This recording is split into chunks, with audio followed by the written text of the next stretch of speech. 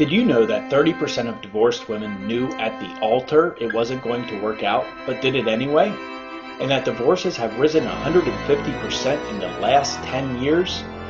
Welcome to ShouldIGetMarried.net. Do you know a close friend or family member who is recently engaged? Are you concerned that they've made a hasty decision? Have you said anything or will you? If you feel that way, others do too, but you're all too chicken to say anything.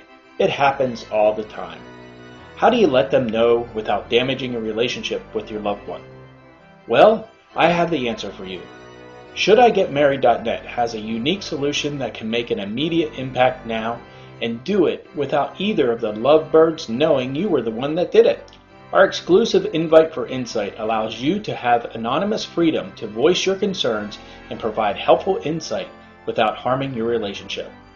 You can keep your relationship with your friend. They won't do the wrong thing that could lead to another stressful marriage and could ruin the lives of two people and eventually end in divorce. You can do something and it will only take a few minutes. It will be the best few minutes you ever gave anyone and the best engagement gift you could ever give them. Best of all, you will feel great knowing that you did something. Get started by clicking the Get Started button below.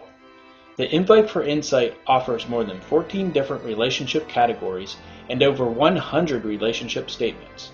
By purchasing the Invite for Insight, you'll be able to say what you otherwise might not, and the responses will help your friend really consider whether their decision to marry has been made through careful consideration and has not been clouded by emotions or naivety. To purchase the Invite for Insight, click the Get Started button below and enter your name, email address, your message, where you would like it to go, and check out.